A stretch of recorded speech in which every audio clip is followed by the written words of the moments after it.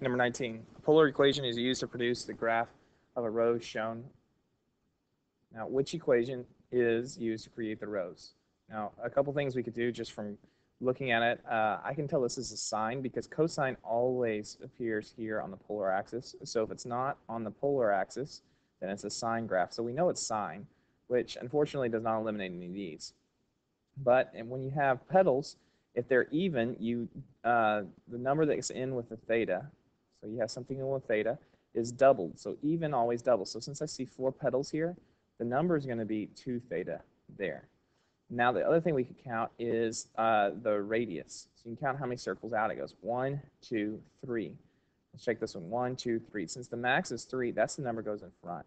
So it should be 3 sine 2 theta, which uh, appears to me to be the answer choice D.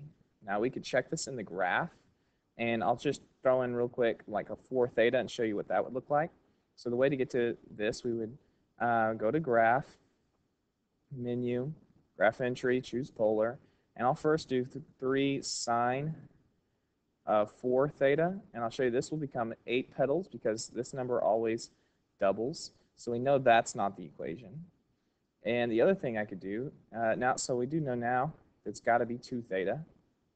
And the other option would be, um, lost the parenthesis there. Okay, the other thing would be if this was a 2.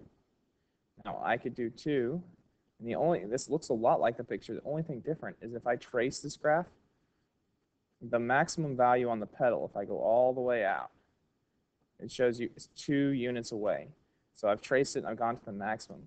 When I go over here, the maximum was not 2 units out, it was 3. So that's why that one would also be off.